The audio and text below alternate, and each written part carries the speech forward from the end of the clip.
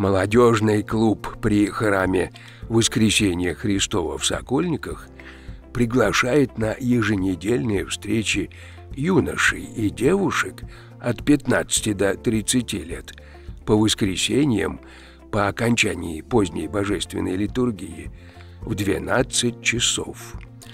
Здесь проходят беседы со священнослужителями, историками, искусствоведами, просмотр интересных фильмов, музыкальные и поэтические вечера и многое другое.